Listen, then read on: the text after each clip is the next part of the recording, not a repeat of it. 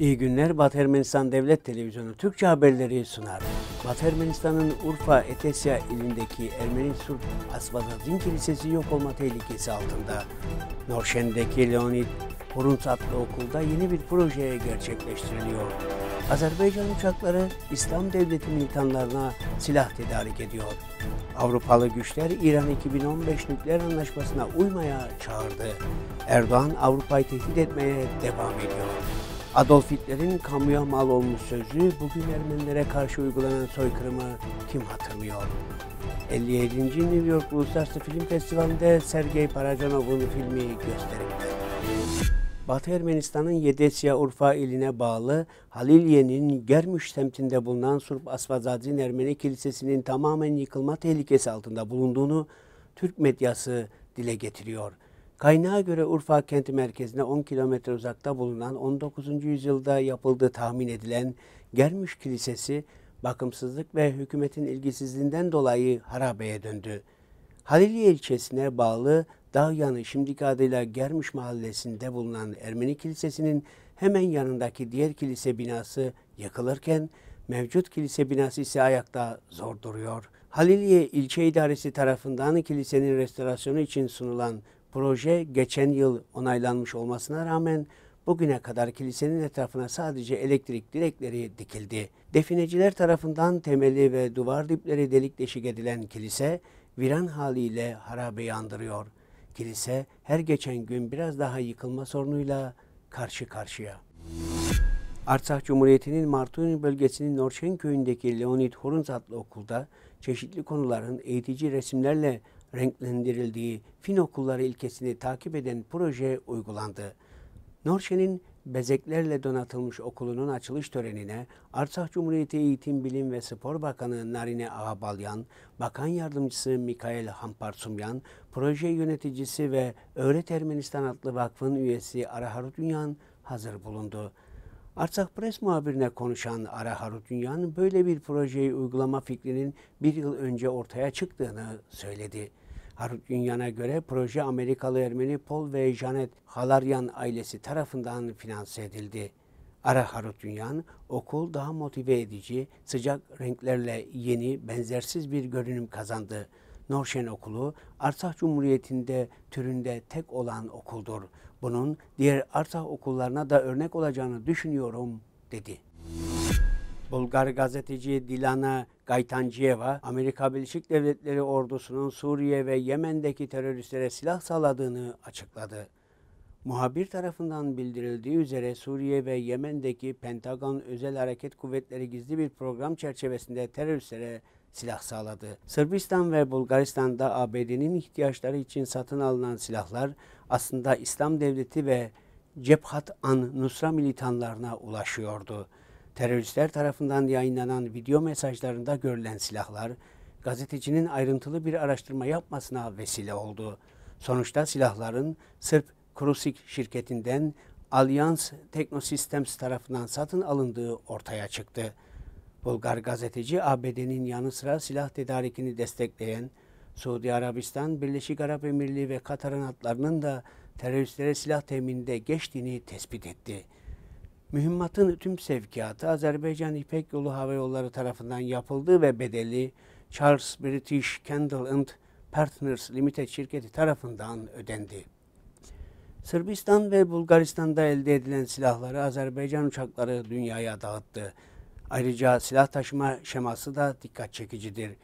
Uluslararası Hava Taşımacılığı Birliği İATA tarafından transfer yetkisi almak için diplomatik yük olarak anıldı. Gördüğümüz gibi Azerbaycan teröristleri destekleyen abisi Türkiye'den geri kalmıyor. Avrupalı güçler İran'ın 2015 nükleer anlaşmasını ihlal eden herhangi bir eylemden kaçınmaya çağırdı. Bu çağrı Tahran'ın uranyum zenginleştirilmesini hızlandıracağı konusundaki İran'ın uyarısından sonra yapıldı. Bugün İran'ın anlaşmayı kurtarma konusunda Avrupalı yetkililere verdiği son tarih. Daha sonra Tahran'ın hangi eylemi gerçekleştireceği açıklaması bekleniyor. Fransa Dışişleri Bakanlığı dün yaptığı açıklamada İran'ın üstlendiği taahhütleri yerine getirmeyen ve gerginliği azaltma çabalarına müdahale edebilecek herhangi bir somut eylemden kaçınması gerektiğini söyledi. Aynı zamanda İngiltere Dışişleri Bakanlığı İran tarafından nükleer araştırma ve geliştirme programları konusundaki kısıtlamaların askıya alınmasını çok endişe verici olarak nitelendirdi.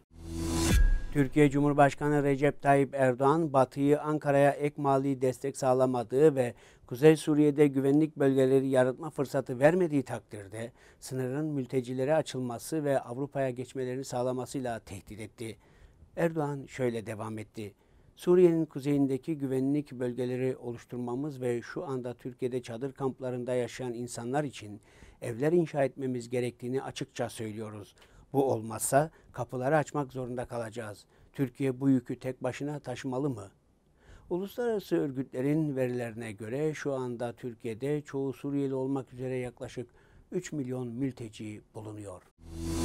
Ermenistan Cumhuriyeti Parlamentosu'nun müreffeh Ermenistan Parti üyesi milletvekili Arman Apovyan kendi sosyal medya hesabı Facebook sayfasında şu belgeleri yayınladı ve ekledi.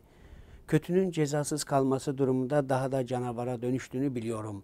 Eminim ki dünya Ermenilere karşı uygulanan soykırımın faillerini zamanında kınasa ve cezalandırsaydı Holocaust olmayacaktı. Adolf Hitler'in 22 Ağustos 1939'da Obersalzberg'de yaptığı bugün Ermenilerin imhasını kim hatırlıyor sözleri bugün kamuya mal olmuş durumdadır. Bu belge Washington'un ulusal arşivinde saklanmaktadır. Ermenistan Cumhuriyeti Ulusal Film Merkezi kendi Facebook sayfasında mutlu bir haber yayınladı. Buna göre ünlü Ermeni yönetmen Sergey Parajanov'un filmi 57. New York Uluslararası Film Festivali'nde gösterilecek. 27 Eylül 13 Ekim günleri arasında gerçekleşecek olan 57. New York Uluslararası Film Festivali'ndeki Rönesans programında Ermenistan Cumhuriyeti Ulusal Film Merkezi ve Polonyalı Fixa Film şirketi sayesinde restore edilen Sergey Parajanov'un 1967 yılında çekilen ve 10 dakika süren Hagop Hovnatanyan adlı kısa filmi gösterilecek.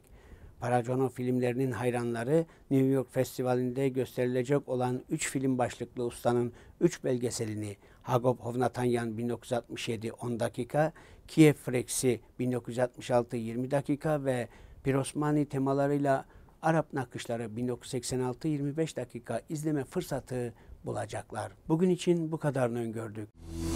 Şimdi size Agun Katlı Folk topluluğundan Uyku Kahparatlı eseri sunuyoruz.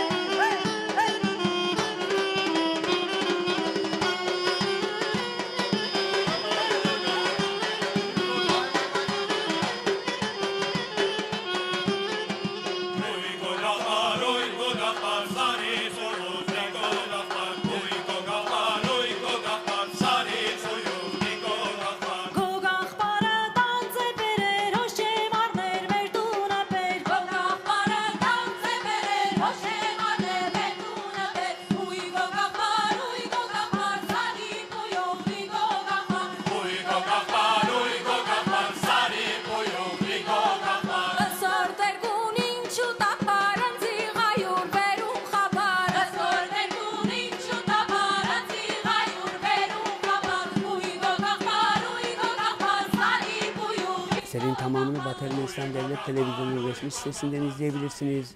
Hoşçakalın.